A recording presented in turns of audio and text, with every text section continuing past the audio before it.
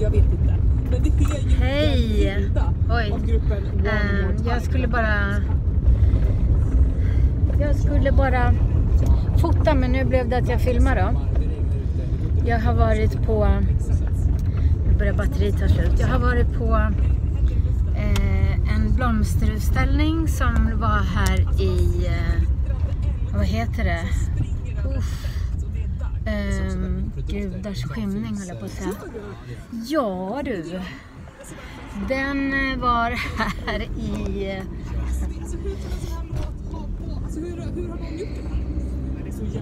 jag säger en av mina topp 10 bästa. Jag glömde bort. Ehm, men det är alltså mellan eh, Hammenhög och eh, Simrishamn.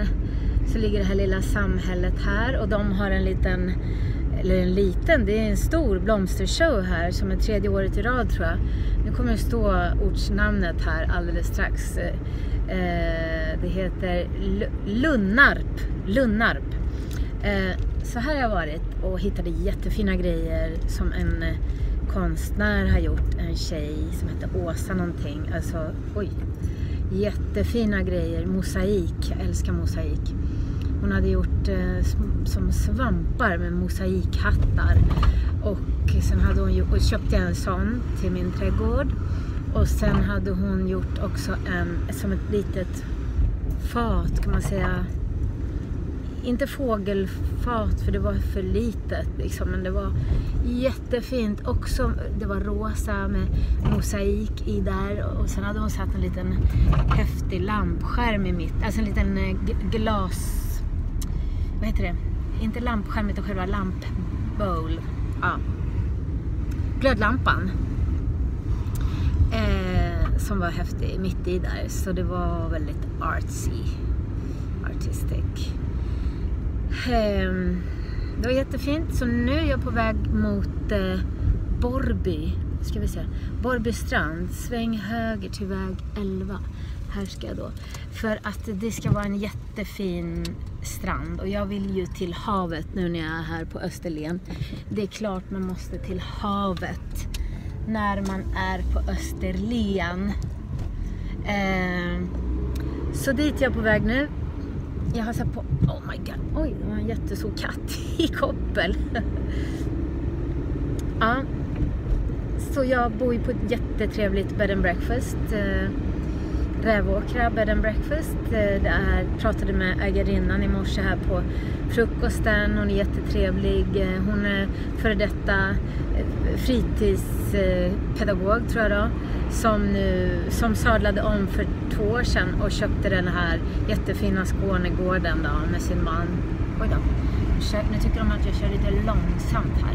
Så nu ökar vi på lite här. Um, Ja, eh, så de köpte det strax innan Corona så det var ju lite synd. Men eh, nu, nu kommer det väl att gå bättre, hoppas jag. Det var jätte, det är jättefint där. Eh, så jag har ju en natt kvar här så nu måste jag till havet och eh, sen imorgon innan jag åker hem så ska jag, då är det sån här, jag ska dra upp fönstret här har ju liksom ingen jättebra airconditioning i min bil. Det kommer jag ju ha sen när jag får en eh, Range Rover eller Jeep. Eh, då kommer ju allting vara tipptopp. Eh, hur som helst, men nu har jag den här gamla skruttbilen tills vidare. Och eh, den är i alla fall jättebra för den tar mig framåt. Hur som helst, imorgon så är det en eh, författarfestival eh, runt omkring här. Alltså folk som håller på och skriver och, och sådär. Och även andra ställen, Simrishamn och så, eh, så har de eh, de öppnar sina hem och även andra allmänna lokaler liksom. För eh, folk som är intresserade av böcker och alltså författare som eh, ja, jag förmodar att man, man, man får ju träffa dem liksom, prata med dem. Och det är ju eh, massor med folk. Det har blivit större, mycket större från förra året. Eh, och det här läste jag också i den här lokala tidningen då, som heter Österlenbladet. Eh, liksom jag läste om det här. Eh, trädgårdsfestivalen. Och det berättade också den här eh, landlord, värdinnan på bed and breakfast om. Eh, Så att eh, då kommer jag åka imorgon och eh, Björn Ranelid och hans fru har, kommer att öppna sitt hem. Och eh, får vi se, jag är lite nyfiken faktiskt. De bor där i Kivik utanför antar jag. Med utsikt över havet, för det har jag sett på TVn när de intervjuade honom i något sammanhang. Eh, så att det ska bli jättespännande. Jag åker dit och ser, det är säkert knökfullt. Men det var ju öppet idag också, tror jag. Så att det kanske, ja, det är nog mycket folk imorgon också. Men jag ska ju lämna bed and breakfast klockan 11 på förmiddagen. Så att eh, jag kommer ju vara där skapligt. Jag ska kolla när de öppnar. Eh, kanske folk är lite trötta på söndag förmiddag. Så att jag får... Det vore kul att kolla in hur de bor och så. Kanske, kanske prata lite. Det vet man aldrig. Han verkar vara en rolig person. Intressant och eh, speciell. Det tycker jag är roligt med speciella människor som vågar vara lite annorlunda. Det är jättekul, tycker jag. Så, så länge man är snäll. och han verkar ju snäll. Skapligt i alla fall. Eh, Okej, okay, nu måste jag hålla koll på skyltarna här. Nu är det en eh, nu är det en skylt här som säger att man måste sakta ner lite. Okej, okay, så det ska jag göra imorgon. Um, sen såg jag även i den här... Nu ska vi se, ska jag rakt fram? Ja, oh, min GPS har försvunnit. Hur som helst. Ja, nu är det ingen bakom mig i alla fall. Sen så... Um, idag såg jag också, jag såg också i den här tidningen Österledsbladet att det fanns någon ung kille som heter Kosmos och hans mamma, skitcoolt, hade öppnat en eh, japansk butik eh, bredvid pizzerian i Hammenhög och jag bor ju jättenära Hammenhög, det är liksom närmsta samhället från bed and breakfast där jag bor.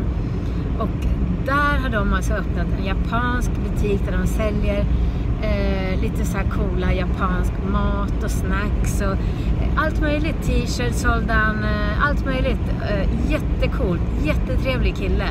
Så honom pratade jag också med. Han var jättetrevlig och, och eh, så inspirerande att eh, han hade jobbat inom vården i jag vet, jag vet inte hur många år. Han var ju, han var ju typ utbränd och så, i och med corona och så. så så tänkte han att jag måste göra någonting annat. Och så kom de på den här idén att den här lokalen stod ledig, det visste han om för han var kompis med ägaren och så.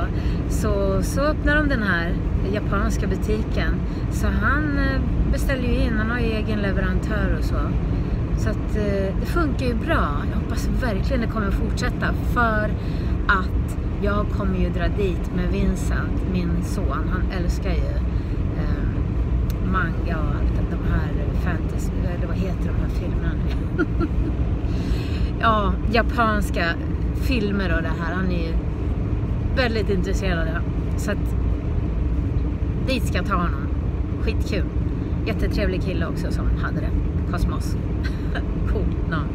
Hur som helst, nu måste jag fokusera för att nu tror jag att jag har kört fel. Eh, men jag ska kolla på, på, på Google Maps navigatorn snart. Okej, okay, hasta la vista. Adios.